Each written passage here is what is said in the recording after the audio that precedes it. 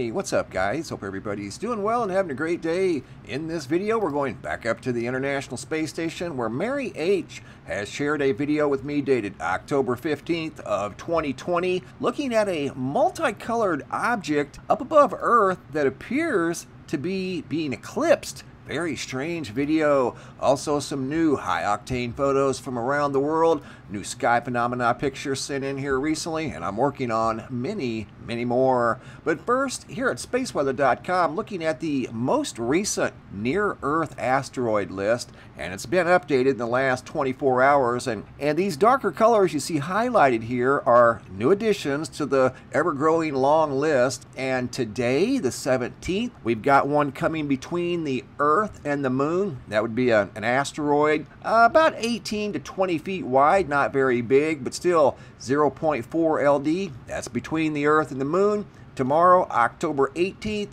have one at 0.6, and these are all new ones. That too, between the Earth and the Moon. 11, that would be about 33 feet wide.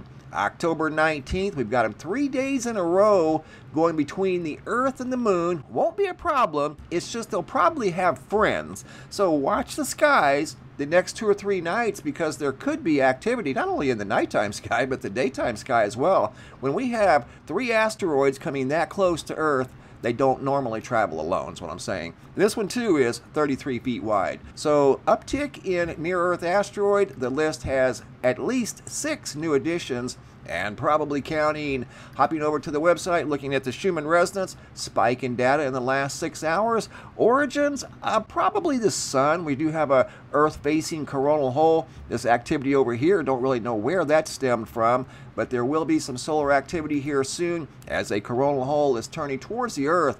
Looking at the Yellowstone supervolcano caldera seismos, another day at the office, steady flow of small energy around the supervolcano, and I would expect that considering it's a supervolcano. We just don't want to come here someday and see all of these seismographs dark blue. That would be problematic. So, so right now I would say everything looks pretty good. Now up to the International Space Station where Mary shared this video with me dated October 15th of 2020. And you can see what she noticed right here. This is the International Space Station as it's coming out of the dark side headed towards the daylight side of the Earth.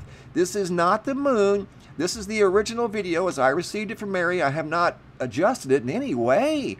And we've got something up here above the earth. And as I go in a little closer, you're going to see it's multicolored and it appears to be being eclipsed very rapidly. Super unusual object here. I wouldn't say that's Venus. It's too elongated as you're going to see right now as I zoom in on this object, whatever it is. I don't claim to know what it is. It's just another one of those videos that it's too good not to share. I'm simply passing this along with you guys. This is above the Earth. See the eclipse right there? See how it's elongated? I wouldn't think that was Venus, would you? See the multicolors? That's not the moon. And besides, what would be eclipsing the moon like that? That is absolutely bizarre. No joke.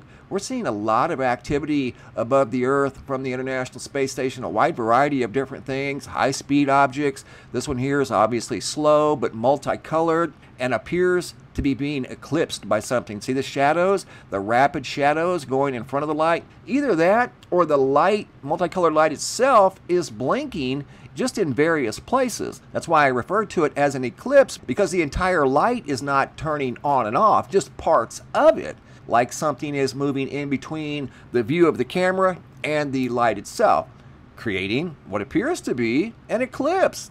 Got red, green, I see blue every once in a while, uh, purple, there's light pink, pretty much a wide variety of colors across the spectrum. But I don't have the slightest idea. This is a first for me. I've never seen anything like it. I'm going to leave it up to you guys, as always, to decide. You tell me what we're looking at here. Uh, Mary is a avid International Space Station viewer. She watches that like a hawk and she sends me a lot of videos of the International Space Station. And this is new to her as well. Look at that. Did you see the, the blinking there of that? Looks like something dark is moving in between, like I said, the, the light and the camera. More so over by the light. I don't know, but this went on until it obviously went out of view and the space station entered the, the daytime side of the planet. So there you have it, a multicolored light visible from the International Space Station appearing to be eclipsed by an unknown object. Here's a brand new picture slideshow, a couple of minutes long. New photos sent in from all around the world. John E. from Longmont, Colorado. Got some wavy looking clouds in the sky, look like they belong in the ocean.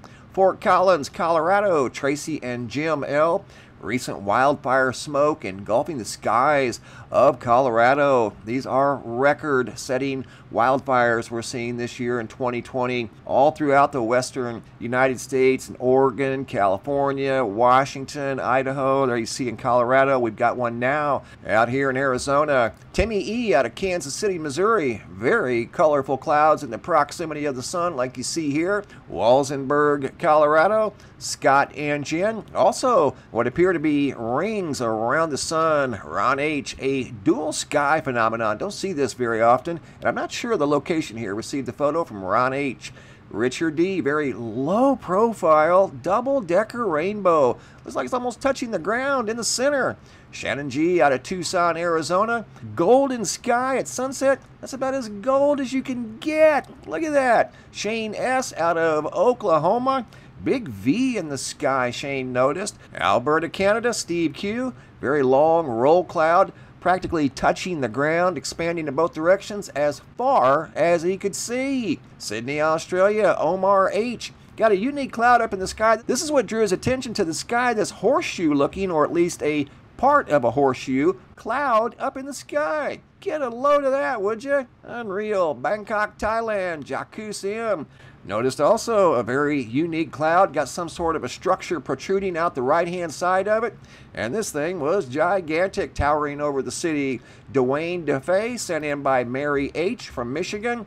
Very bright pink and purple sky from up in Dowagiac, Michigan. Good job, guys. Keep the photos coming. Maui, Hawaii. Lori, spectacular view of the sky at sunset from Hawaii.